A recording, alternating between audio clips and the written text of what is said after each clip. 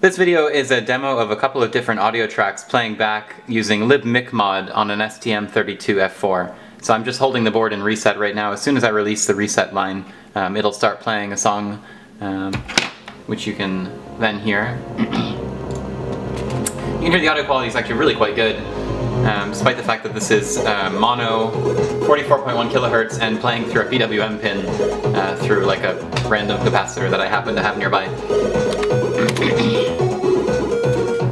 so while that's playing, I'm going to change the tune and reload the firmware.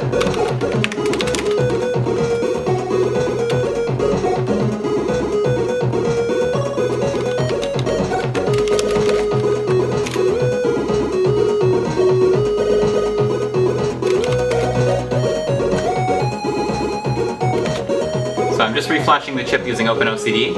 Um, so the music will stop in a second or so. Takes about, I don't know, five seconds to load the image, which is about 155k. Um, and the new song will start playing.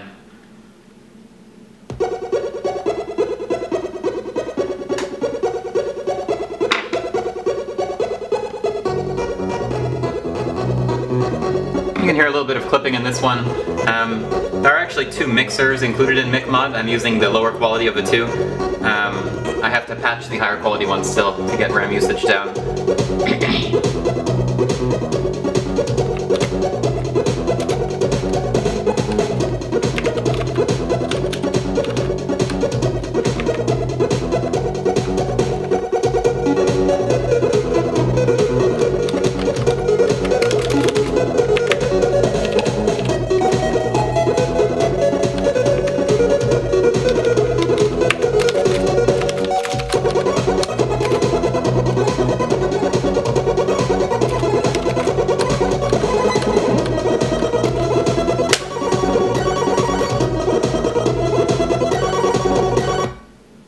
So I'm just loading another song now uh, to give you kind of an idea of, of, how well this performs with different modules.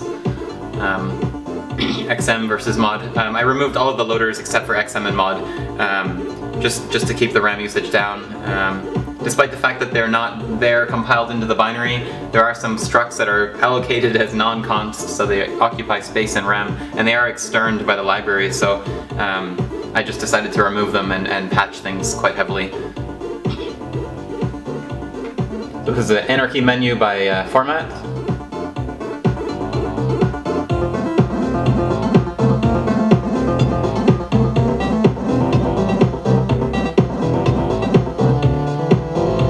The audio quality varies uh, depending on the module. Um, some are very good and some are a little poor. Um, and when the songs end you get a lovely tone, um, which is a, an artifact of uh, an audio output driver that's written in like one hour, so if you hit the reset button, and the music will start playing again.